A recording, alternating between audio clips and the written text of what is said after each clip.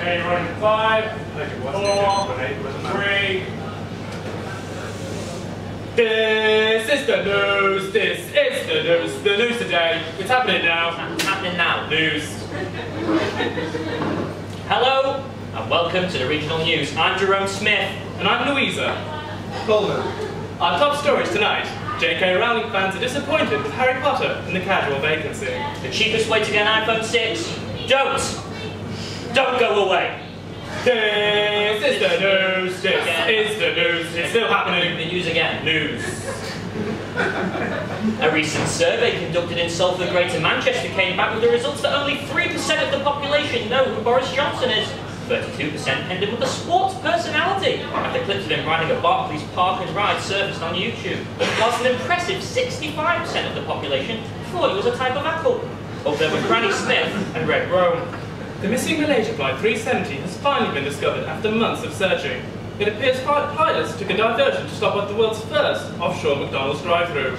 They have come under fire for their use of Google Maps to get back on course and for the use of children's bouncy castles as flotation rafts. British archaeologists have returned from their latest dig in Cairo with some interesting results. After excavating a pyramid untouched for over 2,000 years, a mummy was discovered covered in chocolate and nuts. Experts now believe it to be the remains of the last great king of Egypt, Pharaoh Rocher. The high street clothing store Topshop has come under fire for its controversial use of mannequins. Nicholas has a story. Over to you, Nicholas. Nicholas? Nicholas, can you hear me? No, no, we're not getting anything from. What the? Nic- uh, no, we're not getting anything from. Nicholas? No, no, we're not getting anything from Nicholas, so it's back to the studio. Over to you, Jerome. Yes. Thank you, Louisa.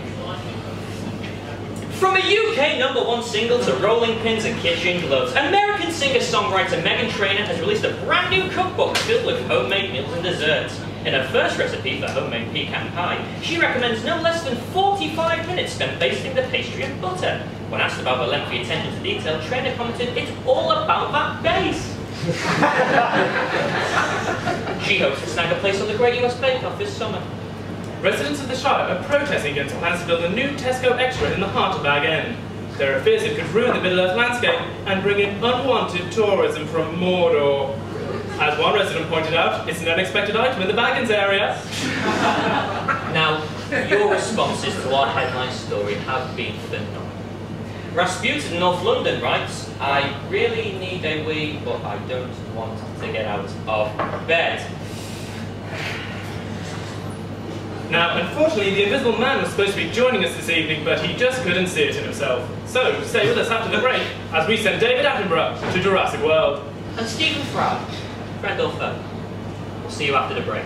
This was the news, this was the news, No, it it's all over. It. This was the news. Oh, fuck I'm done.